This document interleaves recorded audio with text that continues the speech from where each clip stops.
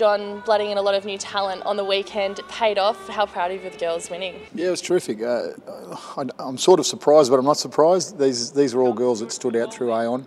Um, some of them already in our program, and some of them certainly new girls to us, and uh, it was outstanding. They, they showed a lot of courage in the final, but you know to get through to day one without a point getting scored against them, and I think scoring 100 odd points, and uh, and then beating Fiji, which was nearly a uh, you know a World Series strength team from Fiji, um, that really showed a lot of character. And then in the final, you know the wet weather, the, the conditions, you know the New Zealand team was a, a similar sort of team of, of, of development players and a few uh, of their back end squad players. So it was great. Uh, it was great for them to have that experience and great for them to win, and, and really proud of them. Are there any girls, you know, possibly putting their hands up or signing for your squad? Yeah, well, there's quite a few that we're sort of, you know, we're either just signed or signing on development contracts. Um, so there's already a lot of those girls sort of on the mix now after on the back of Aon.